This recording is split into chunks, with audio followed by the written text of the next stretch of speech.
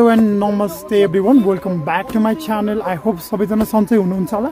म पनि एकदम सन्चै छु। सो आज म यता छेप्का भन्ने गाउँमा छु। यो चाहिँ फोक्सुन्डोको अन द वेमा पर्छ होइन?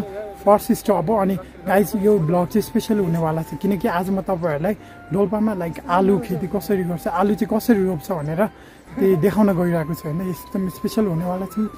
एकदम लास्टमा हेर्दै गर्नु होला। सो यहाँ घोडाले जोत्ने हो कि? यहाँ भने स्टाइल छुट्टै छ नि त अरू ठाउँ जस्तो छैन। लाइक कस्तो हुन्छ होइन हेर्दै गर्नु होला गाइस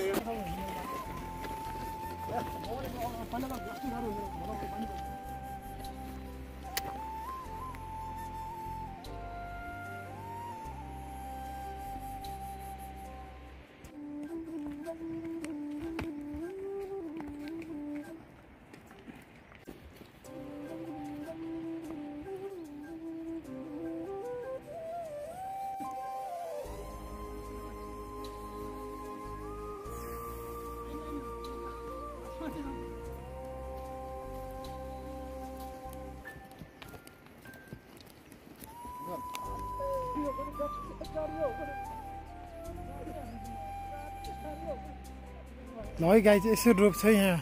डोल्पातिर घोडालाई हुन्छ नि पुरै तलतिर भैँसी यताउति युज गर्छ नि त। यता चाहिँ अब जस घोडा नै युज गर्छ भनौँ न। हाम्रो माथि हिमालय रिजनतिर पनि याक भयो अनि जो भन्ने हुन्छ याकको लाइक भान्जा भान्जी भनौँ न अनि यो घोडाहरूलाई नै यसरी युज गर्ने। सो गाइजहरूलाई कस्तो लाग्यो त यो? गाउँतिरको जोत्ने स्टाइल। यो चाहिँ अहिले आलु मात्रै रोप्या हो। अरू अरू ठाउँमा लाइक सिमीदेखि लिएर कुवा भन्ने हुन्छ त्यो बार्ले भयो कोदो फापरहरू पनि यसरी नै घोडाले नै जोत्छ कि जहाँसम्म मलाई याद लाग्छ। अनि अरू ठाउँमा लाइक जोले पनि जोत्छ याकहरूले तर आजको यो चाहिँ घोडाले स्पेसल घोडाले जोत्ने होइन। आलु आलु मात्रै रोप्याएको त।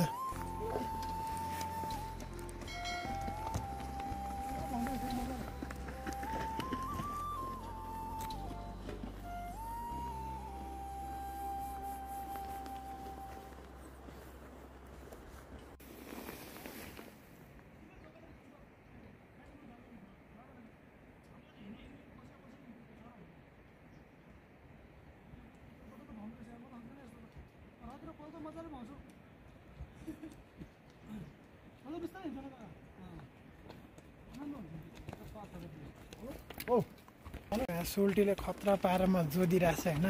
त्यो जिम जानै पर्दैन कि यस्तो काम गरेपछि उसको मसलहरू हेरेर होइन गाइस बाइस फुलिरहेछ कि?